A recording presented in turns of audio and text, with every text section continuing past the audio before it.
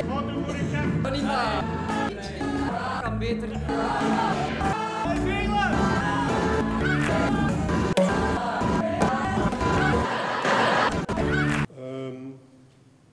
il n'est pas possible de vous autoriser à sortir après le début du spectacle.